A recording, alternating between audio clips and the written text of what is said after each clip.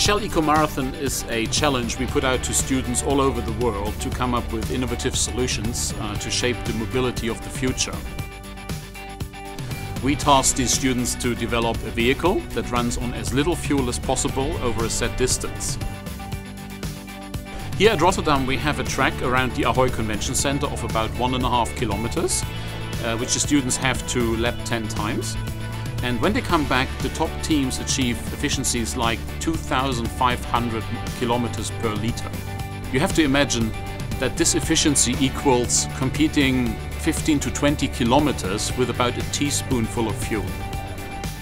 What contributes most to the successfulness of a team is components like low friction in the vehicle. They have optimized their wheel bearings so much that when you give the front wheel a good spin with your hand, it will spin for 20-25 minutes.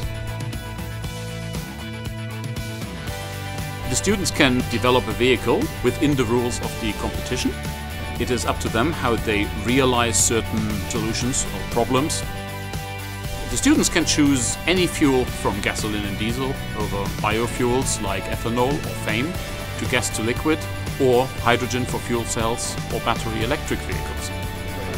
Technical inspection here at the Shell Eco Marathon entails a very detailed check of the vehicles. It starts with simple things like vehicle dimensions, the weight, but goes to brake testing and inspection of the fuel system just to find whether there are any hidden energies in the vehicle.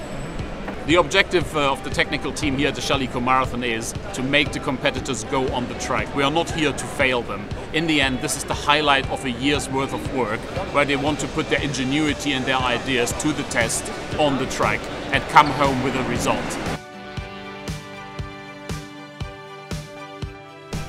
I personally believe there is no single solution for future mobility.